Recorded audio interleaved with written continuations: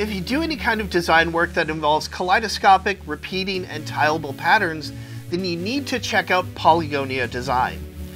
This is a web-based design tool that lets you create intricate, rotating, tileable designs and then download the SVG. From there, you can use this to create laser cut sculptures, 3D printed boxes, vinyl cut shapes, or used as textile patterns. The interface is a little tricky to get used to at first, but it's also fun to play around with to see what you get.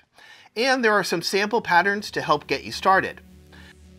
There are also some other modules that allow you to create tile-based patterns from a photo, and a freeform sketch tool if you want to rough out something completely custom in the tile shape of your choice.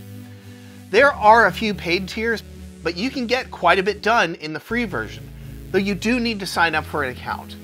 And for more tips like this one, check out Maker Update each week on the DigiKey YouTube channel.